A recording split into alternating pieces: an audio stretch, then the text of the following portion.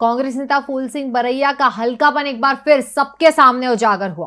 पिछले कई चुनाव हारते आ रहे फूल सिंह बरैया ने कहा, गृह मंत्री नरोत्तम मिश्रा के लिए उनके पास नौ नंबर की चप्पल है। बरैया यही नहीं रुके, उन्होंने कहा, अगर नरोत्तम मिश्रा के बाप में दम है तो वो चुनाव जीत कर दिखाएँ।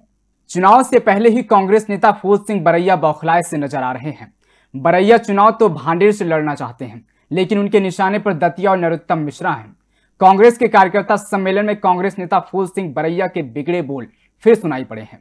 बरैया ने अपने भाषण में बेहद घटिया शब्दों का इस्तेमाल किया है। कांग्रेस नेता व पूर्व विधायक फूल सिंह बरैया ने कहा, इस बार प्रदेश में बहुमत के साथ कांग्रेस सरकार बनेगी।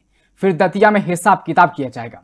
उन्होंने कहा, नरोत्तम मिश्रा, तेरे लिए मेरे पास नौ नंबर की चप्पल है। और मैं आपसे कहना चाहता हूँ, हम उससे उन्नीस नहीं है। इस बार सरकार बनेगी। बहुमत की बनेगी। और दतिया में इसका हिसाब किताब पूरा किया जाएगा। और मैं आपसे कहना चाहता हूँ, सरकार ऐसे नहीं सिर्फ़ हम लोगों के कारण पूरे मध्य प्रदेश में आंधी चल रही है। गाँव में आप जाइए, नब्बे परसेंट हमारे भाई बहन कह रहे हैं कि अब की बार इनकी विदा करनी है। तो तुम अच्छे होते तो कोई विदा करने की कहता क्या? इस बार विदा करनी है। भाई बहन कह रहे हैं, नब्बे परसेंट लोग कह रहे हैं। विदा अगर इनकी हो रही है। तो आप समझिए कि सबसे पहले बचने के लिए यही मंत्री कहाँ पहुंचेगा?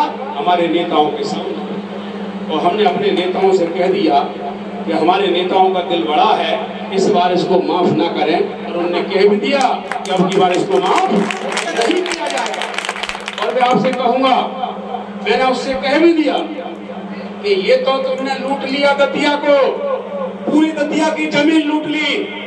पूरी दतिया के धंधे लूट लिए, पूरे पेट्रोल पंप लूट लिए। दतिया के लोगों का मर्डर करा दिया। दतिया का आदमी सर उठा करके नहीं चल सकता।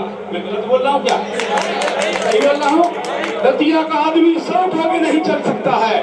तब मैंने दतिया में कहा था, ए नरोत्तम मिश्रा, तेरे लिए मेरी नौ नंबर की चक्कर उल्टी के लिए तू चाहे जा फूल सिंह बरैया की भाषा शैली से मंच पर बैठे कांग्रेस नेता अजय सिंह भी हतप्रभ हो गए।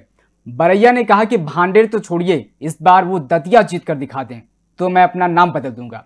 नरोत्तम मिश्रा के बाप में दम हो तो वे दतिया से चुनाव जीत कर दिखा दें। और इन्होंने धोखे से सीट ले ली।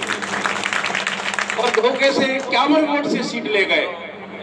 मैं आपको कह रहा हूँ, मैं नरोत्तम मिश्रा को चुनौती देता हूँ कि वो अपने बाप से अगर पैदा है, उसकी रगों में उसका खून है। मैं आपसे कह रहा हूँ, फिर भी कि नरोत्तम मिश्रा की रगों में उसके बाप का अगर खून है। मैं खून की उसको दुहाई देता हूँ कि तेरे बाप का तेरी रगों में खून है, अब की तू आजा मैदान में तू जीत के दिखा दे। और यही नहीं, मैं यही बात नहीं कह रहा हूँ। अंडर तो छोड़िए आप, वो अपनी दतिया भी जीत के दिखा दे तो मैं आपका नाम बदल दूँगा। और दतिया में जाके हम उसको कुछ लेंगे। सांप अगर यहाँ से निकल गया है तो दतिया में कुछ लेंगे उसका फन। अगर दी इस बार जीत के दिखा दे नरोत्तम मिश्रा, उसके बाप में दम हो तो। और मैं कहूँगा धोखे से सीट चली गई हम लोगों की? हम ये नहीं जानते थे कि पुलिस वाले सारे बटन दबा देंगे।